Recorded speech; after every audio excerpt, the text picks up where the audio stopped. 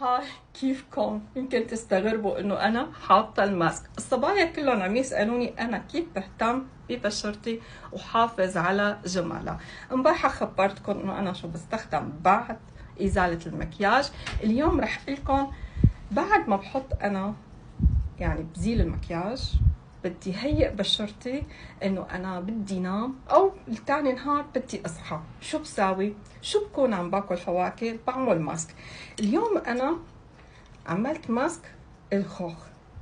شلت جزء منه؟ دهنته على وشي. وأنا كنت قايلة لكم صبايا بفيديو سابق من أسرار جمال البشرة إنه نحن نعتمد على الفواكه ذات اللون البنفسجي اللي بينضم ضمنها الكرز بينضم الفريز توت العلاق التوت الأحمر توت الأسود والتوت الأزرق. ولاحظوا هون شو حاطة أنا؟ الدراء الخوخ والعنب هدول اللي موجودين حاليا عندي بالبيت.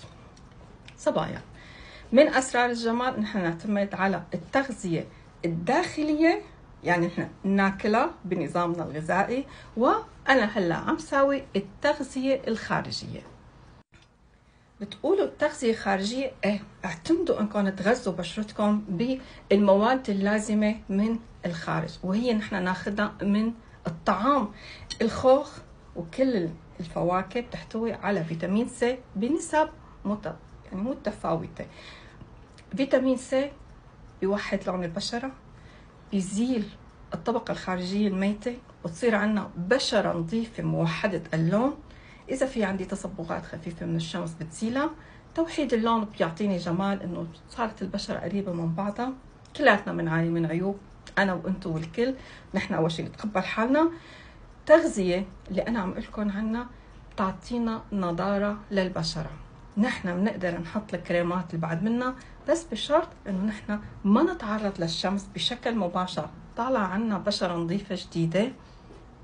إذا طلعنا على الشمس رح تنحرق ونخسر هالبشرة اللي نحن حصلنا عليها. بنصحكم تحطوا واقي الشمس نحاول نتقي الشمس قدر الإمكان. هيدا الفيديو الثاني حتى لكم عن نظام كيف بتعامل أنا مع بشرة وشي. بتمنى تكون هالنصائح حبيتوها أصدقائي. ما تنسوا لكم شغلة شرب المي كثير بيساعد البشرة.